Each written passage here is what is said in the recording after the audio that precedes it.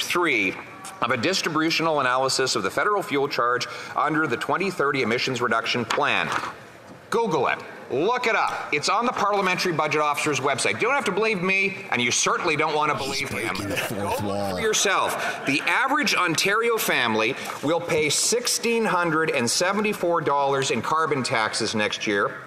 That's $630 more than they get back in rebates. So why doesn't the Prime Minister Google it, look up the report, check the facts, and axe the tax. Drop some W's in the chat for Pierre. That was, that was pretty insane. Longer term and broader economic consequences of a price on pollution. You have to talk about the cost of inaction. You have to talk about the benefits of investing and innovating in carbon reduction technologies. That's the full picture that the leader of the opposition doesn't want to look at because he doesn't think you can build a strong economy and fight climate change at the same time.